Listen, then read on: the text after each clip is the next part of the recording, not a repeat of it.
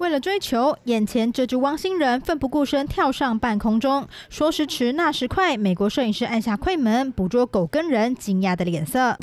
身手矫捷的还有这只猫咪，往前一扑，仿佛世界杯足球赛最佳守门员。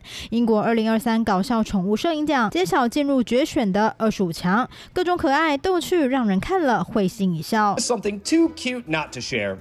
The finalists for this year's comedy pet photos have been chosen, and they include a feline foe a doggy dive bomber, a sulking sourpuss, and a deep digger。出卖自家宠物最真实一面，无论身体多变形，表情多狰狞，越夸张越讨喜。而这只猫咪照片主题名称叫做爱因斯坦，原来是因都爱吐舌头。It's an online contest started by a group of friends with a mission to promote positive awareness of animal welfare issues. Lots of cats and dogs and their owners showing off their funnier sides.